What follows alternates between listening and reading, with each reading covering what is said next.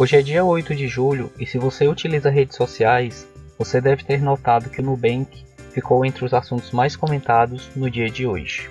Isso porque alguns usuários acordaram com a surpresa de que o dinheiro em suas contas havia sumido. Mas afinal, o dinheiro dessas contas sumiu mesmo? Como que a Nubank se posicionou a respeito disso?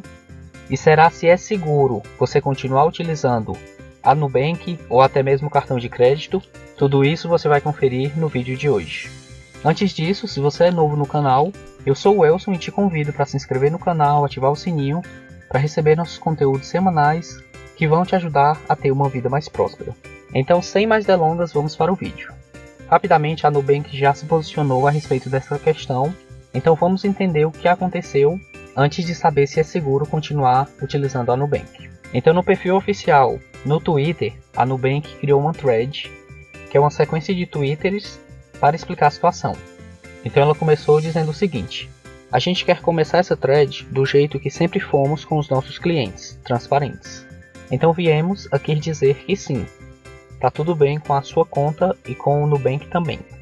E aproveitamos para pedir desculpas por todo o transtorno do dia de ontem. E aí ele ainda diz: Essa semana fomos informados que alguns boletos da Caixa Econômica Federal, pagos entre abril e junho, para as nossas contas, haviam sido creditados com quantias a mais, que deveriam ser recuperadas. E a Nubank continua.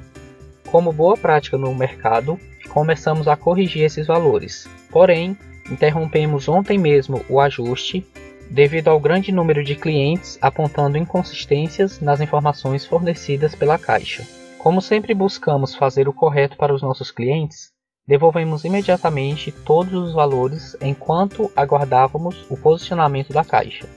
Já estão todos disponíveis nas contas do Nubank. E para concluir, o Nubank fala: Estamos sempre aqui com você. Caso tenha mais dúvidas, é só procurar nossos canais de atendimento, através do chat, e-mail ou telefone. Então, basicamente, o que aconteceu? As pessoas geraram boletos na Nuconta, pagaram com o aplicativo da Caixa e na Nuconta houve o crédito superior aos boletos. E na comunidade da Nubank, ela também se posicionou a respeito dessa situação. Só que antes de te falar se é seguro continuar com a Nubank, eu quero saber a sua opinião. O que você achou desse fato? E me conta se você passou por esse problema e se a situação já foi resolvida. Mas afinal, é seguro continuar utilizando a Nubank?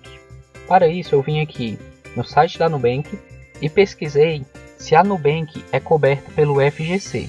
O FGC significa Fundo Garantidor de Crédito e ele atua como se fosse um seguro para o seu dinheiro. Quando você deposita dinheiro nessas instituições que são cobertas pelo FGC, o seu dinheiro está protegido mesmo que a instituição quebre. O FGC ele protege o seu dinheiro em até 250 mil por CPF por instituição financeira. Lembrando que ele também tem um limite de 1 milhão por CPF. Mas afinal, a Nubank é coberta pelo FGC? E aí no próprio blog da Nubank, eles falam que sim, mas somente para os depósitos feitos em RDB. E aí eles explicam aqui que até junho de 2019, quando você depositava um dinheiro na Nubank, esse dinheiro era automaticamente investido em títulos públicos. Então, nesse caso, não havia cobertura do FGC.